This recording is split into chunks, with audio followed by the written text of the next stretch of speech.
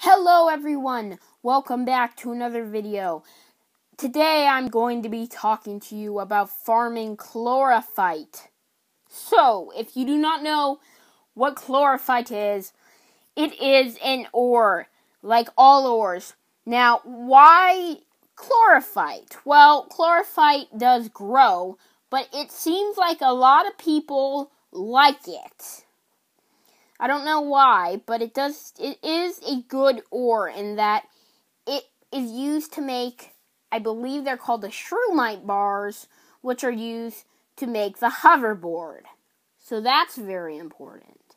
Also, they do have a decent amount of weapons. So how do you grow them? Well, you find chlorophyte ore in the jungle biome. And surprisingly, you don't have to be in a jungle biome to farm it. Now, it seems to work the best um, underground. I believe it only works underground, at least for what I've seen. So I've really had no progress above ground doing it.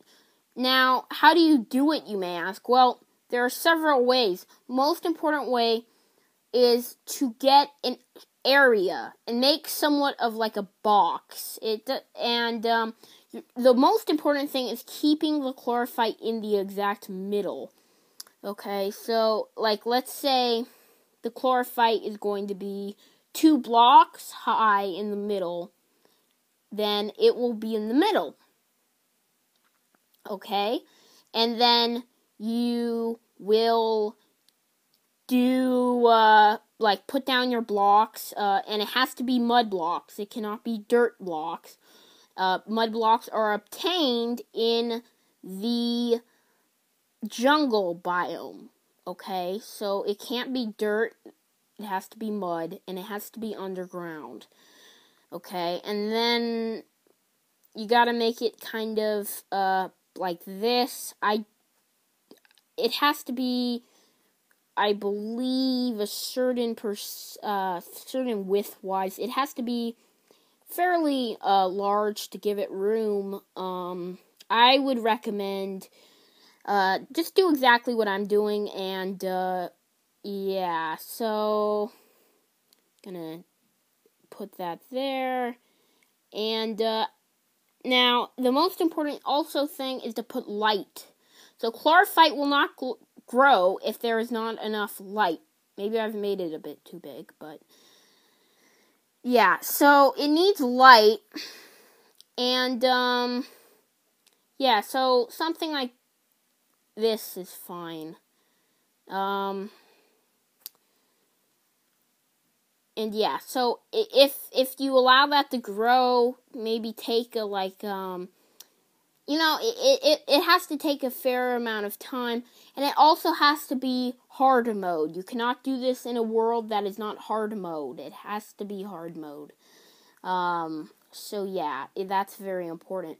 Um, and uh, yeah, so this is basically the build. You want to have uh, two torches on the side, one torch above, and I'd recommend having this I don't think they're the set amount of blocks, but the bigger the square, the more it can spread out.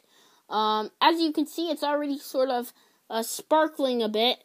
Um, and you know, chlorophyte ore, it's just, it's very rare. So if you can grow some, good, that's wonderful. Um, so yeah, this is the basic setup.